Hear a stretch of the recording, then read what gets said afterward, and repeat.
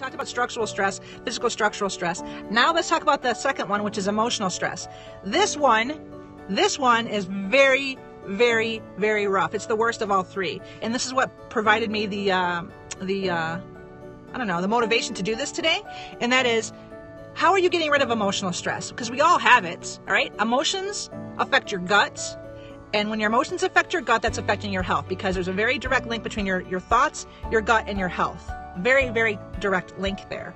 So if you are not taking care of your emotional stress by talking to a friend, by screaming into a pillow, by exercise, by doing all these ways to try to calm you, then what do you think is going to happen with that built up toxicity?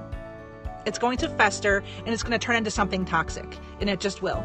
Okay? So handle emotional stress very, very carefully because it's there. And if you're not doing anything in your wellness lifestyle, your wellness uh, protocol, then you need to be considering that because it's very important that you address that. Do you have a pet? Do you have, uh, do you go for a walk? Who do you talk to? Do, do, do you have shame when it comes to saying what's going on in your life because I'm telling you right now, if you guys have not listened to Brene Brown's The Power of Vulnerability, I highly recommend that. I'm listening to the audiobook, which is a live talk that she's giving unbelievably amazing.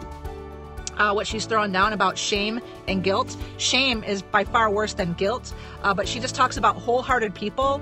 People who don't have shame or who don't get caught up in shame are healthier people. They live longer, they live happier lives.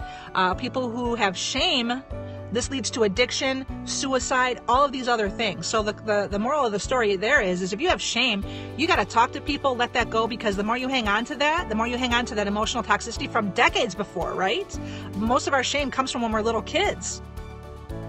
If you're holding on to that, you need to release that in some form. I don't know what it is for you, but in a healthy way, you need to get rid of that. So E is emotional stress.